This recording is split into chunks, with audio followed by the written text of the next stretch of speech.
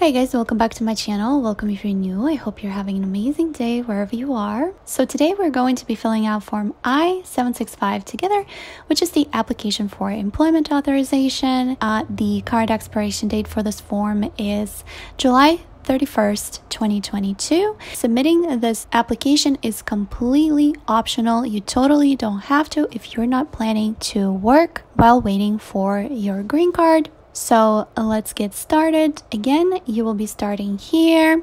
Uh, please type or use a black ink pen. Any areas that you are not able to fill out in uh, this format right here while typing, you can always fill them out in the black ink pen later after you print this document. Okay, so uh, part one reason for applying.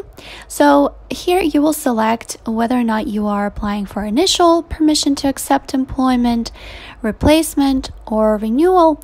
So a couple of notes here is you will be selecting initial permission to accept employment for any kind of employment authorization under a new visa category. So, for example, if you had an employment authorization on your OPT, for example, and now you are applying for employment authorization uh, through your adjustment of status application, you will still be selecting initial permission to accept employment. And um, if you, for example, have been waiting for your green card for a while and you have applied for this before and your employment authorization did expire and your green card is still not here, you will obviously be uh, submitting this option 1C because you will be renewing uh, your permission and you will have to attach a copy of your previous employment authorization document.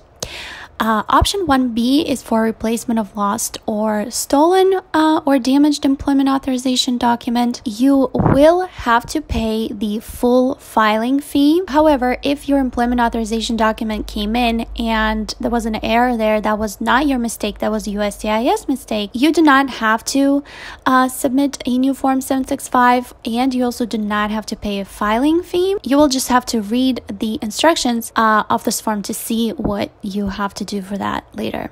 However, if you are applying uh, as part of your adjustment of status application, most likely you'll be selecting option 1A. Moving on, information about you. This is asking about your name, and if you have ever used any other names. So, uh, Jane is married now to a US citizen, but she actually never changed her name before, uh, so she doesn't have any additional names.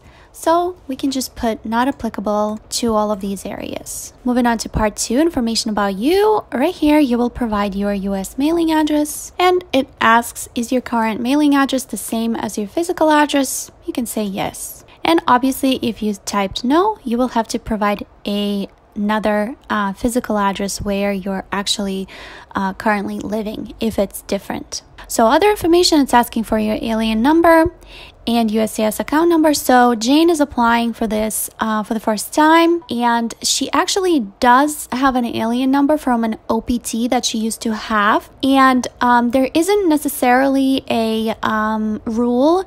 So basically, uh, once you apply for an employment authorization, uh, you will most likely receive a new alien number because you're applying under a new uh, visa category, like adjustment status, for example. So uh, it is very likely that you will receive a completely different alien number.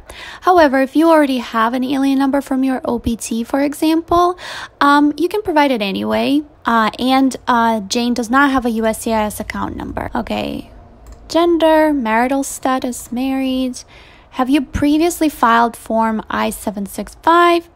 Um, so here um, you can answer yes if you have ever filed, um, if you have ever uh, filled out this form before. So you can say yes because she used to have an employment authorization for her OPT a while ago. So, moving on, this question 13A and B are asking if uh, you have a social security card issued ever to you, and Jane has when she was here as a F1 student before. And she will input her social security number here.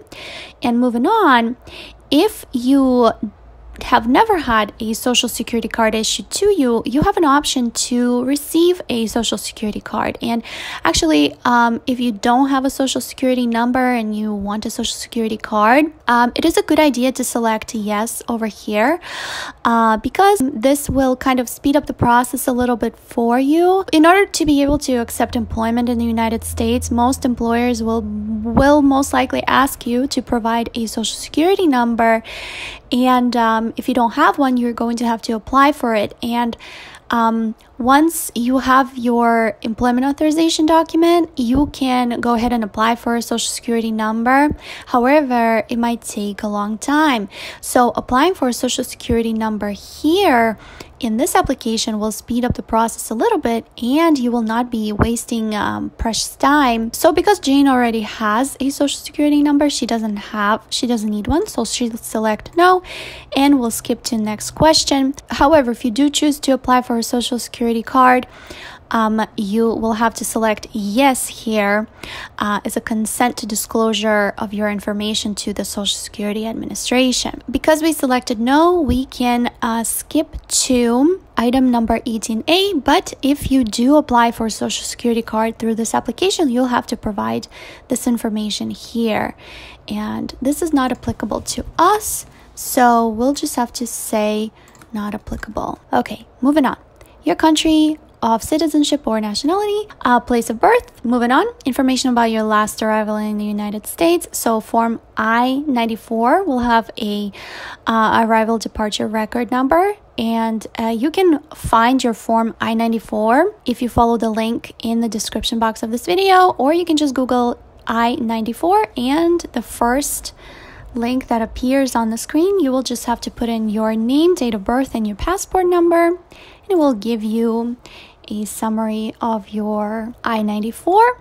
Uh, your passport number is asking for your most recently issued passport. If you have updated your passport, obviously provide the most recent one. Travel document number, not applicable. Country that issued your passport or travel document. Expiration date, date of your last, last arrival to the United States, place of your last, last arrival. So this would be uh, the port of entry, and it was New York uh, immigration status at your last arrival. So she was an F1 student. Your current immigration status or category, again, she is currently still a F1 student. And if you were an F1 student, you are familiar with what SEVIS number is, and that will be listed on your I 20 form. So you will put in your SEVIS number in here. Okay, eligibility category. So this uh, can seem very complicated. However, in the instructions of this form, you will be able to see what your eligibility category is. There's a lot of different eligibility categories. However, anyone who is adjusting their status will have eligibility category C 9. With some exceptions that if you are adjusting your status from an asylee or a refugee, your eligibility category may be different, so you should check out the form instructions. Okay?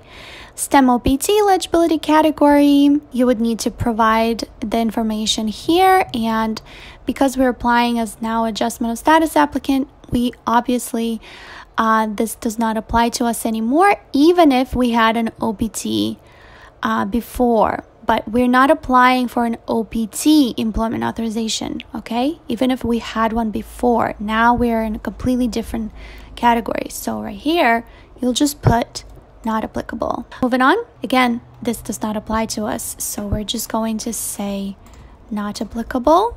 Next, these are all these different other eligibility categories. We'll just put not applicable in all of these areas. And finally, part three is the statement contact information. So Jane can read and understand English. I've read and understood every question. If you've used an interpreter or a preparer, you will obviously select this phone number here, any other phone numbers, email address, and right here, you'll select if you're a Salvadoran, Guatemalan national eligible for these benefits. It doesn't apply to us. And right here, you'll sign in black ink pen when you print it out and put in your date. Again, if you used an interpreter, you'll put in their information here. this does not apply to us, so we will just put not applicable and additional information page may be used uh, for any kind of additional information, but because we didn't have to provide any, we're just going to leave this blank. So this is it. This is the end of the i765 application. Uh, check out my uh, all about i765 and i131 videos where I uh, talk in more detail about any additional information that you might want to know for these forms. Uh, subscribe to my channel if you haven't already. I hope to see you in my next videos. Bye.